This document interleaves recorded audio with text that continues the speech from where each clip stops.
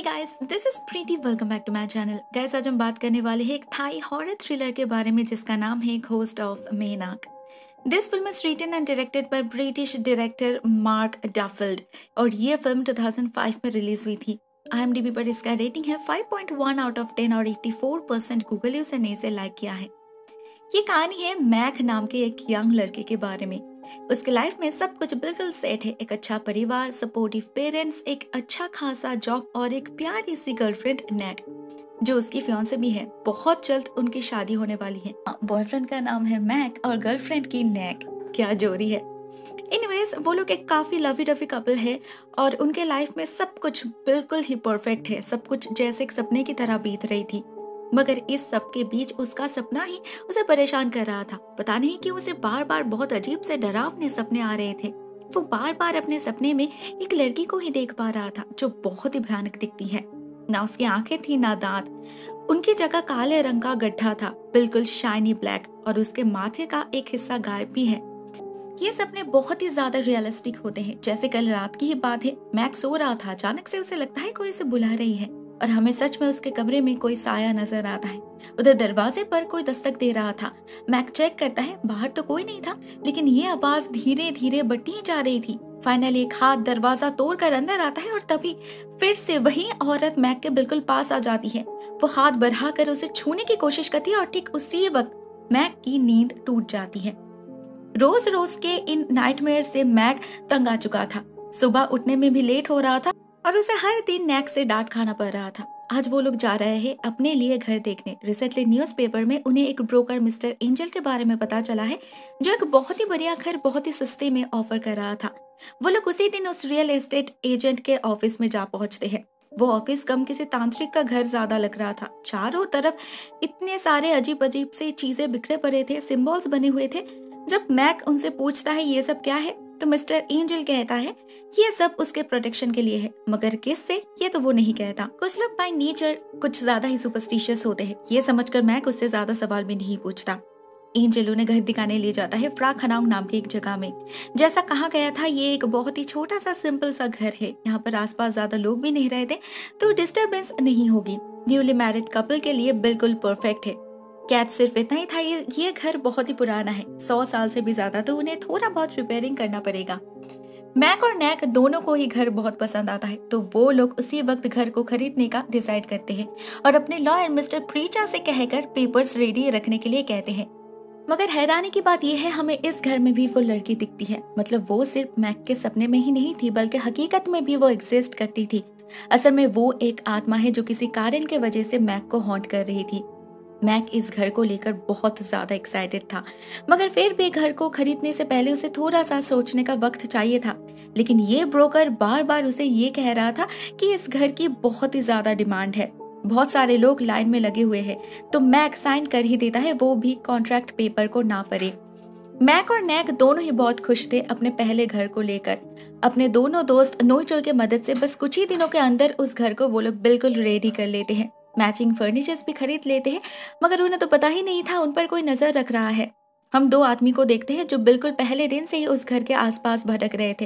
ये कपल कब घर में रहते हैं, उनके पास क्या क्या सामान है, कितनी कीमती है, वो सब कुछ देख रहे थे। असल में ये लोग चोर थे और उनके घर में चोरी करने का प्लान कर रहे थे। इस सबसे अनजान मैक और नैक अपने लाइफ को सजाने में बिज़ी थे। बस कुछ ही दिन के अंदर उनकी शादी थी। मैक अपनी उनपी वाइफ के लिए एक प्यारा सा पेंडेंट खरीदता है, एक ब्रोच उसे पता था नैक को ऐसी चीज़ें पसंद आती हैं। ये एक तरह का लकी चर्म भी है, जो उन्हें मिस्टर एंजल के ऑफ़िस में दिखा था। ये नैक का वेडिंग गिफ्ट होने वाला है। शादी से पहले अभी सिर्फ़ दो दिन ही बचे थे। नैक अपने फैमिली के ट्रेडिशन के अनुसार एक फॉर्चून टेलर से मिलने जाती है, जिसने उनके शादी का डेट फिक्स किया था। और उधर हम देखते हैं, वो ब्रोकर कुछ खिचड़ी पका रहा है। वो मैक के लॉयर, मिस्टर प्रीचर को कॉल करके एक अपॉइंटमेंट फिक्स करता है, क्योंकि उसे उस घर के बारे में कुछ बात करनी थी। हम उसे स्टेशन में देखते हैं। उसने ऑलरेडी बहुत दारू पी रखा था, मगर फिर भी उसे तभी जाना था। हम उसके हाथ में ठीक वैसा ही एक लकी चार्म वाला ब्रोच देखते हैं, और उसके पीछे थी वही आत्मा। जिसे वो देख नहीं पा रहा था। मतलब अभी मैक को छोड़कर ये आत्मा उसे फॉलो करने लगी थी। एंजल ट्रेन पे चढ़ता है, खाली कमरे में अचानक से उसे सामने वाले सीट पर वो आत्मा दिखती है, जो उसे ही घूर रही थी। इसी बीच पता नहीं कैसे उसके ब्रिफ केस में आग लग जाती है। धुएँ के कारण उसे सफोकेशन होने लगता है। जैसे ही वो बाहर जाने की कोशिश करता है, उसका सर दरवाजे के बीच फंस जाता है और ठीक उसी वक्त दूसरे तरफ़ से एक ट्रेन आ रही थी। जिसके वजह से उसका सर धड़ से अलग हो जाता है और उसे एक भयानक मौत मिलती है। देखने से तो ये एक एक्सीडेंट ही लग रहा था, मगर असल में ये उसी आत्मा का खेल है। मगर इसके पीछे का मोटिव हमें कहानी के आगे पता चलेगा। नेक्स्ट सीन में हम पहुँच जाते हैं मैक और नैक के शादी में। उन लोगों ने उस घर में रहना शुरू भी कर दिया था। मैक को लगा नया घर, नई जगह, उसे शायद फिर से वो आत्मा सपने में नहीं दिखाई देगी। मगर उसका चेहरा याद करते ही डर से फिर से उसकी नींद टूट जाती है। वो बाथरूम में जाता है तो वहाँ पता नहीं कब नैक भी पहुँच गई थी। वो कुछ खा रही थी, अजीब सी पूछने पर वो कहती है कि उसके ग्रैनी ने उसे दिया है। ये एक ट्रेडिशन है, इसे खाने से दांत काले रंग के हो जाते हैं, मगर पिछले जमाने में इसे ही खूबसूरत माना जाता था। नैक खुद तो खा ही रही थी और उसी हालत में वो मैक को भी किस करने की कोशिश करती है। मगर मैक उसे रोक लेता है और उसे अपना मुँह धोने के लिए कहकर खुद सोने चला जाता है। उसे नींद आ रही थी, लेकिन कमरे में घुसते ही उसकी नींद गायब हो जाती है क्योंकि बिस्तर पर नैक सो रही थी, असली नैक। तो फिर बाथरूम में वो कौन थी? पूरी रात उसे ठीक तरह से नींद नहीं आती। वो सपने में था या वो सब कुछ सच था? उसे समझ ही नहीं आ रहा था। मगर नेक्स्ट मॉर्निंग नैक उसे ठीक वही सब बातें बताती है, जो मैक ने पिछली रात ही सुनी थी। तो मैक तो और ज़्यादा कंफ्यूज हो जाता है। मगर शादी के एक्साइटमेंट में इन सब बातों को भुलाना कोई बड़ी बात नहीं है। उस दिन वो लोग मैक के पेरेंट्स के घर गए थे डिनर पर। पूरे दिन के बाद जब वो लोग अपने घर में लौटते हैं तो पता चलता है कि घर का दरवाज़ा खुला हुआ है और अंदर से सब कुछ गायब है। फर्नीचर्स शादी में मिले गिफ्ट्स इवन मैक का वेडिंग सूट भी। उसके अंदर ही उसने वो ब्रोच रखा था। नैक को देना तो भूल ही गया। पुलिस को कांटेक्ट किया जाता है, मगर इन सब केस में ज़्यादा एक्सपेक्टेशन रखना ठीक नहीं। तो उन्होंने उम्मीद भी छोड़ दी थी। लेकिन कुछ ही दिन के अंदर मैक को ऑफ़िस जाते वक्त दो आदमी दिखते हैं, जो उनके गिफ्ट्स खुले आम बेच रहे थे। ये और कोई नहीं, वो दोनों चोर थे। मैक उनका पीछा करता है, मगर वो लोग उसे देखकर ये गाड़ी लेकर भाग जाते हैं और भागते वक्त मैक का उनके गाड़ी के साथ एक्सीडेंट हो जाता है, जिससे वो बेहोश हो जाता है। जल्दी से उसे हॉस्पिटलाइज किया जाता है। मगर वो कोमा में चला गया था। डॉक्टर्स उसे कॉन्स्टेंटली मॉनिटर कर रहे थे, मगर अभी तक कोई भी रिस्पॉन्स नहीं मिला। लेकिन जैसे ही वो डॉक्टर केबिन से निकल जाता है केबिन में सिर्फ़ नेक रह जाती है, अचानक से बस कुछ ही सेकंड के लिए मैक का सेंस लौटता है और वो नेक से कहता है मे नाक को ढूंढ निकालो। नैक ये बात सबको बताती है, मगर कोई भी उसके बातों पर बिलीव नहीं करता। तो रात में वो अपने ग्रैनी से पूछती है मे नैक कौन है? तब उसे पता चलता है, मे नैक एक फीमेल घोस्ट है। सौ साल पहले थाईलैंड में जंग के समय एक लड़की रहा करती थी, नैक नाम से। वो प्यार करती थी मैक नाम के एक लड़के से। वो लोग शादी करते हैं और बिल्कुल सपने की तरह एक दूसरे के साथ दिन गुजारने लगते हैं। मगर एक दिन मैक को ऑर्डर मिलता है, उसे जंग में जाना पड़ेगा। उस समय नैक प्रेग्नेंट थी। उसे देखने वाला कोई नहीं था, मगर फिर भी मैक को जाना ही पड़ता है। बहुत दिन गुजर गए, जंग भी रुक चुकी थी, मगर मैक जंग में बहुत घायल हुआ था तो उसे ठीक होने में समय लग जाता है। जब वो फाइनली अपने घर में लौटता है, तब वो देखता है, उसके लिए घर में नैक वेट कर रही थी। उसके बच्चे के साथ। एक बार फिर से वो दोनों एक साथ रहने लगे। नैक बिल्कुल भी चेंज नहीं हुई थी, बल्कि उसका प्यार जैसे और बढ़ गया था।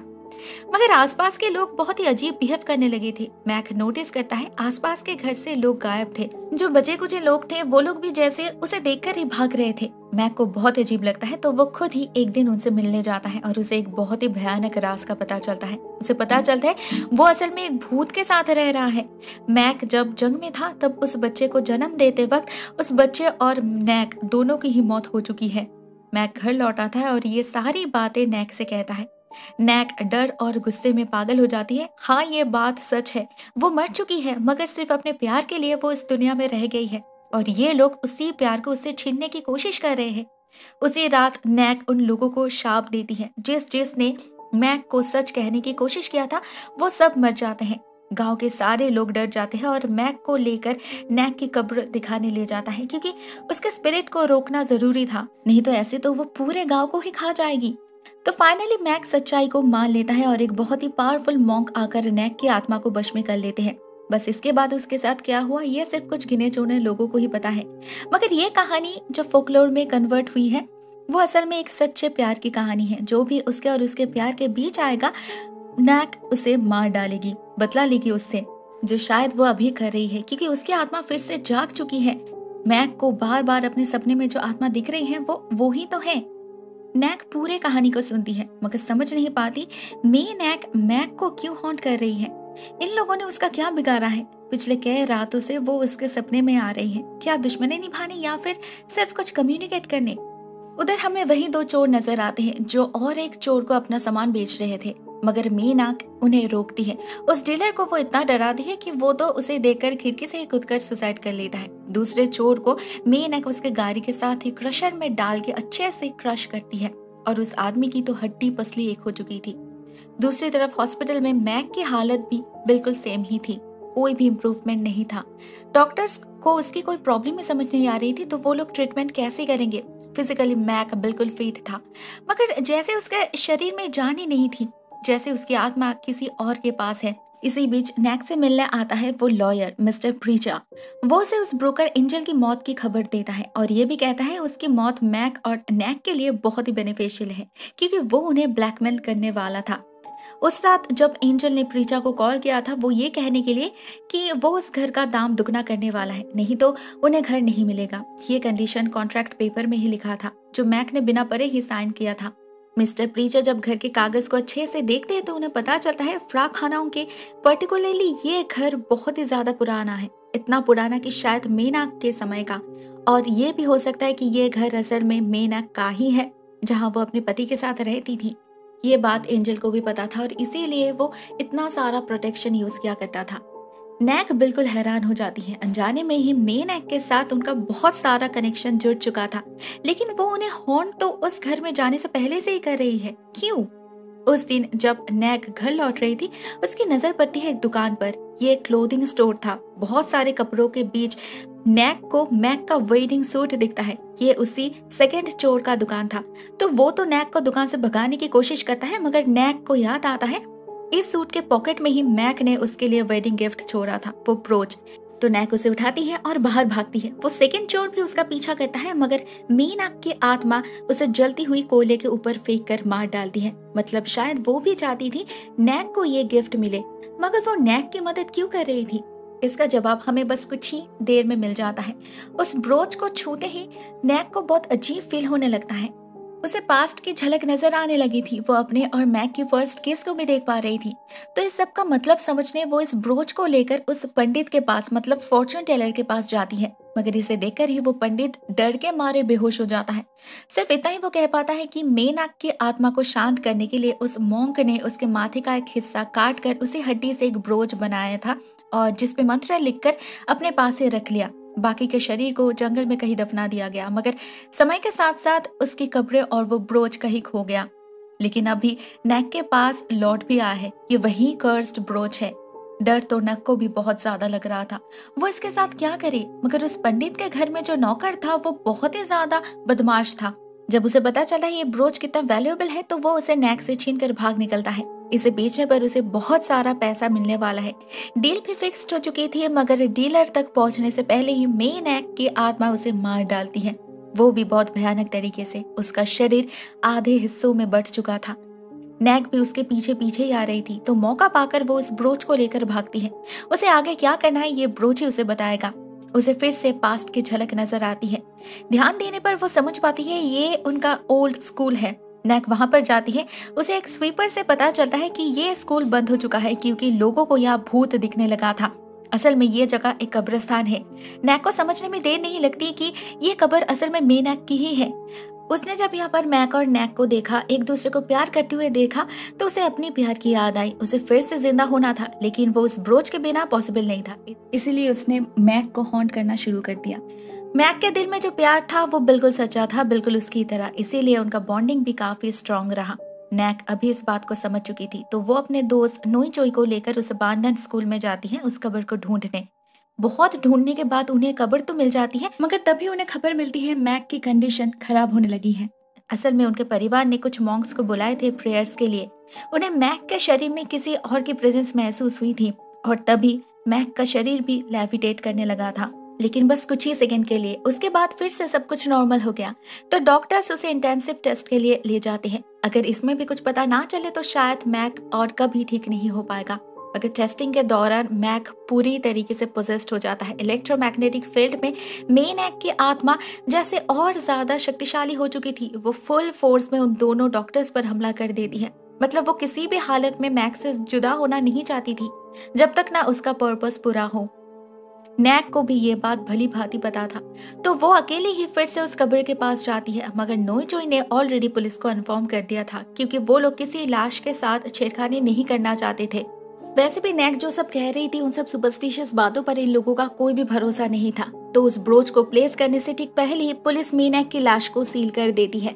नैक फिर से एक मौका गवा चुकी थी। डॉक्टर्स ने भी जवाब दे दिया था, अभी मैक को एक मॉनिस्टरी में शिफ्ट किया गया था एग्जॉसिज्म के लिए।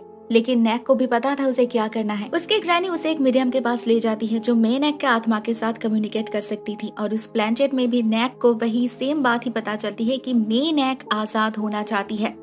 नैक उसी रात चोई की मदद से चोरी छुपे पुलिस मॉर्ग में घुस जाती है और बहुत ही मुश्किल से उस लाश को ढूंढ निकालती है। उस ब्रोच को प्लेस करती है उसके माथे पर। मेनाक का शरीर कंप्लीट हो चुका था। उसे आज़ादी मिल गई थी। तो उधर एग्जॉसिज्म चलते वक्त मैग भी आज़ाद हो जाता है। सब कुछ फिर से एक बार ठीक हो चुका था, बिल्कुल पहले की तरह। तो कुछ दिन बाद वो लोग डिसाइड करते हैं मेन एक्ट की लाश को प्रॉपर फ्यूनरल दिया जाएगा। तो कॉफिन रेडी किया जाता है। नेक्स्ट डे ही उसकी लाश आग में जलने के लिए बिल्कुल रेडी थी। बस एक ही रात बाकी है। मगर रात में मैक को अपने कमरे में अपने साथ मेन एक्ट की आत्मा दिखती है, जो उसे ही अपना प्रेमी समझ रही थी। तो फिर असली नैक कहाँ है? मैक उसी वक्त मोनेस्टरी में भागता है, जहाँ मेन एक्ट का कॉफिन रखा हुआ था। और उसके अंदर हमें असली नैक दिखती है। फॉर्चुनेटली आग में जलने से कुछ सेकंड पहले ही मैक नैक को रेस्क्यू कर लेता है। नहीं तो पता नहीं क्या हो जाता। इस बार मैक और नैक दोनों ही बहुत ज़्यादा डर गए थे। पता नहीं क्यों अभी भी मेन एक्ट की आत्मा उन्हें हॉन्ट कर रही है। मगर असल में डरने की कोई बात ही नहीं थी, क्योंकि ये तो सिर्फ़ एक सपना ही था। मगर एक ही सपना वो दोनों एक साथ देख रहे थे, वो भी एक ही समय पर। बात कुछ हजम नहीं हो रही। शायद मेन एक्ट की आत्मा जाते जाते भी उनके साथ एक छोटी सी मज़ाक कर गई।